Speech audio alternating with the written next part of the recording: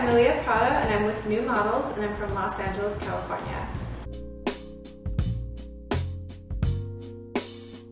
A lot of people ask me about my ethnic background, so a little backstory. My mom is Italian and German, and my dad is African American. There's other stuff in there, but that's the main thing, so that's quite a, quite a mix.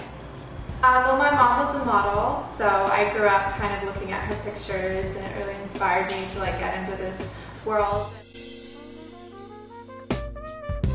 My favorite TV show is obviously Stranger Things because it's amazing and I, I'm obsessed with this show and I kind of wish I could be 11.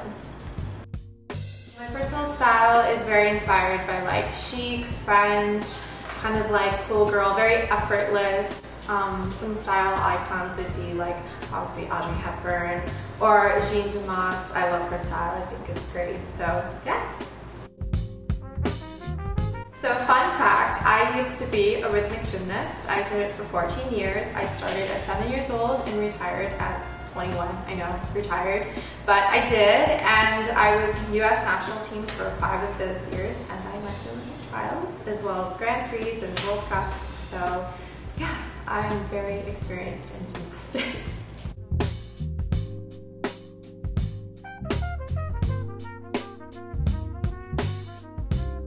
My favorite way to sweat is, a very traditional way, is to go to the sauna and just kind of relax and bake and sweat until all my toxins are out and then I feel like born again once I'm done.